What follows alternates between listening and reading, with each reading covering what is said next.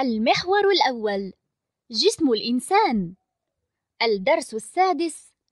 ربط عضو الحس بوظائفه. اللسان عضو الإحساس بالتذوق.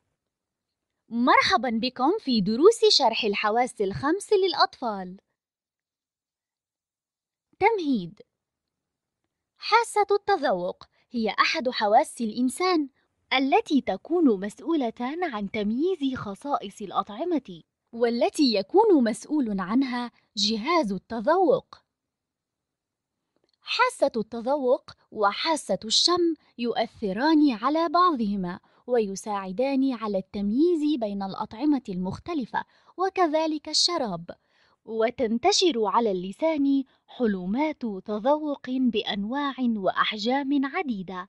تحتوي على خلايا حسية تميز بين الأذواق الأربع الرئيسية الحلو والحامض والمالح والمر.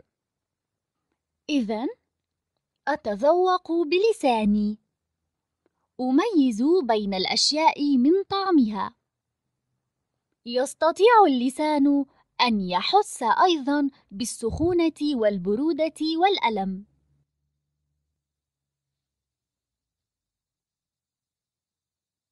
أتعرف. كيف أتذوق؟ نحن نشعر بالطعم في كل أجزاء الفم وأيضا بالبلعوم لكن بالأساس باللسان. مستقبلات الطعم الصغيرة جدا تنتشر على سطح اللسان ما عدا الجزء الأوسط. نحن نعرف أربعة أذواق أساسية حلو مر حامض ومالح. مناطق التذوق. نشعر بهذه الأذواق في مناطق مختلفة من اللسان. طرف اللسان يميز طعم السكر الحلو والملح. جانبي اللسان يميز بهما الطعم القابض الحامض مثل الخل. نهاية اللسان تدرك الطعم المر. أتدرب. أختار الإجابة الصحيحة. ما هو العضو المسؤول عن حاسة التذوق؟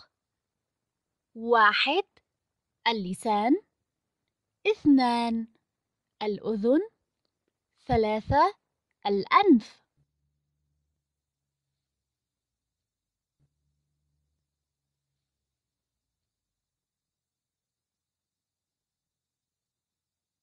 الإجابة. العضو المسؤول عن حاسة التذوق هو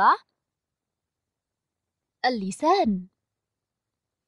أتذوق الطعام ب واحد أنفي اثنان أذني ثلاثة لساني.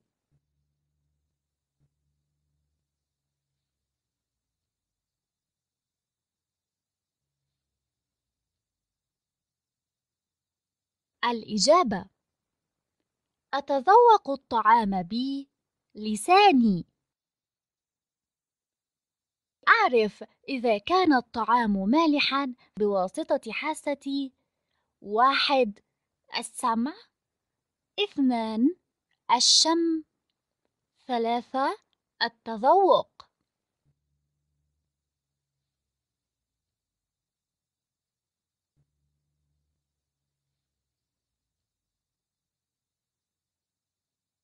الإجابة. أعرف إذا كان الطعام مالحا بواسطة حاسة التذوق.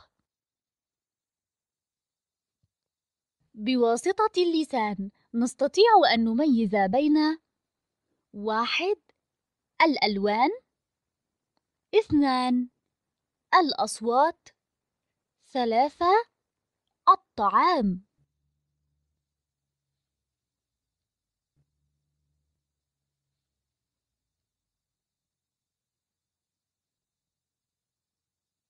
الإجابة.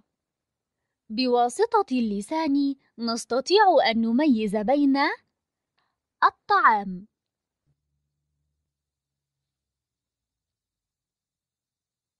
أضع علامة قاطع ومقطوع تحت الصورة التي توضح حاسة التذوق.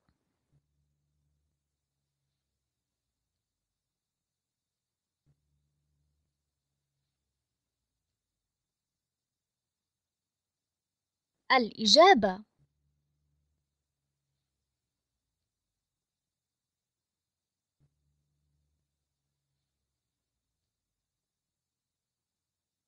صنف المواد المختلفة في الجدول حسب طعمها مذاقها. مثلجات شاي بدون سكر. سمك مملح ليمون.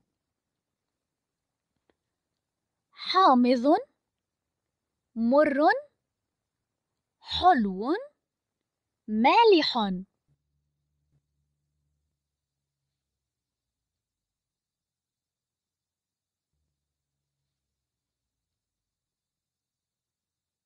الإجابة حامض.